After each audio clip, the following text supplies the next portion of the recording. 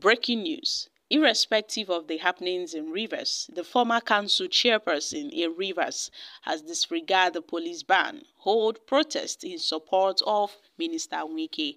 Guys, this is interesting.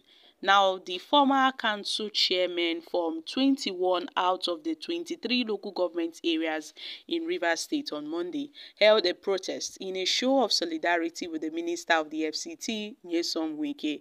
And these protesters gathered at various council headquarters, including the Buguma, where the former chairman, George, led a march through the streets, holding cards with slogans like Sim Fubara must be held accountable and Asari Turu Kantu is not a personal fiefdom.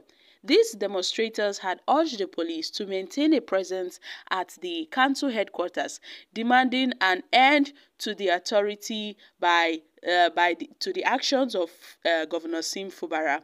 The former council chairman, loyal to the former governor, had took to the street in their various council uh, locations staging demonstrations to show their support to their leader and challenging the authorities' attempts to silence them. And this comes amid a ban on protest by the River State Police Command. The crisis, which has claimed about three lives, began last Tuesday when the police took control of all 23 local government secretariats in the oil-rich South-South states following the expiration of the former chairman's three-year tenure. And this, solution, this situation remains tense with rival, rival groups digging in their heels. And it was reported that Amid the ongoing crisis rocking the state, Governor Fubara had sworn in some new caretaker chairmen for the 23 local government areas of the state. And despite the protests, the police had maintained their barricade of the council premises across all local governments, effectively preventing both sides from assessing the areas and potential flashpoints in a bid to prevent the solution, uh, the, the, the situation, I beg your pardon, from escalating escalating and to maintain public safety. And by doing so, the police aim to prevent a further breakdown of law and order and to keep the tensions from boiling over into violence. And let's not forget how the passing of the Local Government Amendment Bill into law by the Rivers State Assembly and how Fubara had refused to sign it in a bold move, the lawmakers led by Martin Amaewhule had doted on the governor's decision. This amended bill would have granted the assembly the power to extend the tenure of these local chairpersons, these their vice chairpersons and councillors, if location, if uh, elections couldn't be held before the end of the three-year tenure. However, the court has struck out the amended law and an appeal was filed. Then the appeal court is set to deliver a you know a, a, critical ruling on the manner on the matter which would significantly impact the political landscape of Rivers State. Although we know that the appeal court is set to deliver a crucial ruling on this very issue and we know that any ruling from the courts would definitely impact the political landscape of Rivers State. But you see these Wike's chairpersons, ex-chairpersons, I think they are so stubborn and they are hell-bent on creating disaster in the state. And I see the crisis in Rivers State as man-made. Although, yes, there may be federal powers in it because they tend to gain something with this crisis going on in the state as they seek to overthrow, overthrow the, the government of uh, Fubara in Rivers State. And Wike, yes, had given all of them appointments. But they ought to know that Wike's tenure is over and they ought to respect the current governor in the state. Why are they why are they trying to be so heartless? Why are they trying to be so you know wicked by creating more problems in the state? What are they really protesting for? What are they really protesting for? Because I don't see any reason why they should hold protests. All because of what? They are supporting Minister Wike. Is it that Wike sent them to do all these things? Is Wike behind all these activities? Is it the one pulling their strings to go ahead and challenge the authority of the governor in the state?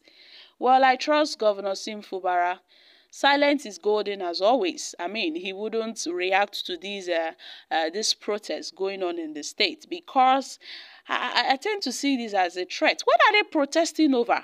Their tenures are over. They should wait until the state would bring out a date for fresh elections.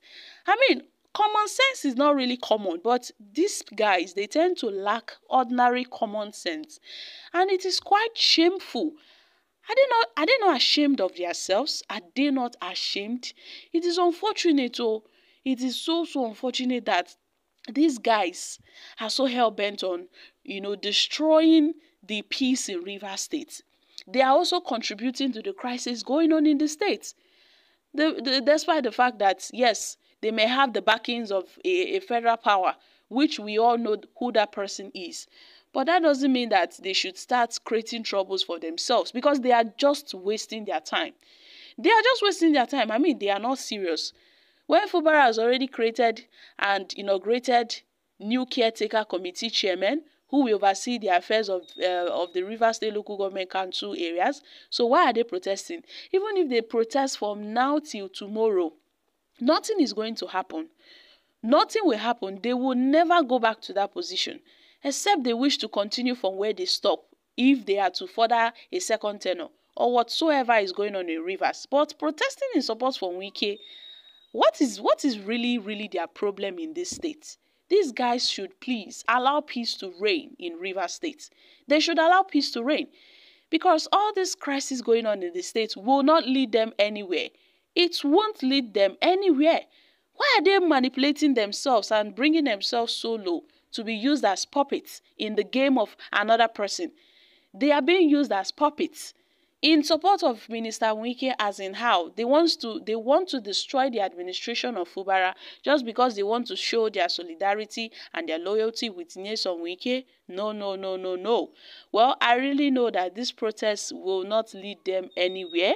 I'm sure they are trying to show notice me, notice me. Yes, we've seen them, but this shows signs of jobless people. Yes, they are actually jobless and they have no vision. People that their tenure have expired, what are they waiting for? Instead of them to retire quietly, Fubara has already set up a committee. So what are they protesting for? Are they protesting that Fubara should bring them back into their local government council? Or what are they really looking for? This is actually, you know, wickedness. So because this protest is is really unnecessary but it's okay i mean uh, no one is stopping them from protesting at least they are expressing their fundamental human rights, the right to free protest, the right to free movement. And this shows that Fubara is indeed a gentleman because had it been Nyesom Wike is in the position of Fubara, no one in the state would dare bring up such an act when Wike is the governor. You won't you won't try that. Fubara is such a gentleman, oh, I must say. So guys, I'm dropping here. Kindly share your thoughts on this in the comment section. Thank you.